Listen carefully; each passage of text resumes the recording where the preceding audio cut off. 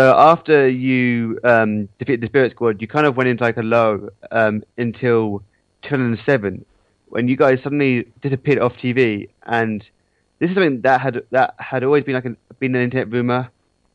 When you guys were released, was it uh, in 2007? Was it for attacking a referee at a house show? Um, it was for that, and it was for uh, backstage files we have with Lance, Lance Cade and Trevor, Mur- Trevor Murdoch. You know, um, Lance Cade, God rest the guy's soul. You know, um, Lance Cade was a great guy away from wrestling.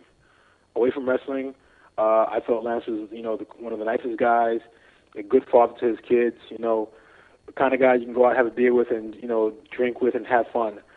But when it came to wrestling, Lance was a total dick. You know, I mean, just a straight asshole. And he didn't make any bones to, you know, take make any friends with a lot of guys. And you know, I was I wasn't one of them. You know, we had a really good friendship in OVW, and then when it came time for WWE, you know, it was more of he wanted to be this really kind of kind of a bully to other guys, but I'm not really somebody that you know can be bullied very easily. So, you know. So following your release, uh, you started posting on the internet the, the initials TNAB, and people were like, "This means TNA bound." But then one night on Raw, you guys made your, your sudden return, and then we found out that it means those are back, and that return. was- Nigga, see, I can say it, you can't. But I can- That's right. I'm white in English. Okay. no, but uh, you know what's funny about that? Actually, uh, because we uh, because um, we didn't put that on the internet until the day we flew to Miami after Mania, and we, like we, the the day of WrestleMania, we flew we flew into Miami. Two weeks before that, um, Umaga, Shelton, and Carly uh, had taken me and my partner out to dinner because uh, my partner was in town because we were training to get ready to go back. We were training at Booker T's PWA.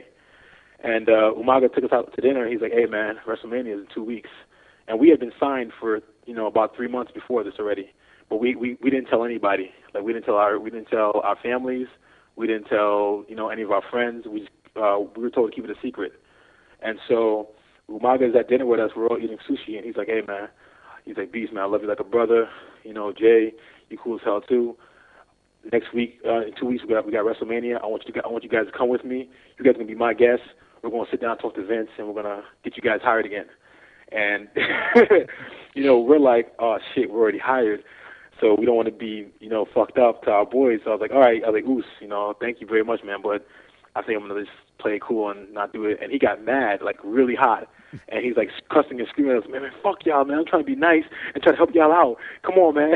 and we're like, nah, man, it's okay, it's okay. Don't don't worry. So after he got really mad, he's seen us. He's like, we put that TNA thing on the internet that night. We flew out. His first phone call to was to me, and he was like, "Yo, man, don't go to TNA. What are you doing? What are you doing? No, no, no. I can get you guys back. I can get you." I was like, Ooh, I was like, "Ooh, don't worry about it. I'll see you tomorrow. I'll see you tomorrow." And it was funny because I got a phone call from Matt Morgan also, because he knew that I was in my he knew that I was uh, in uh, Orlando at the time, and he was like uh, scared of what I was gonna do. He thought I was gonna jump the railing at the, at Monday Night Raw and proclaim TNA.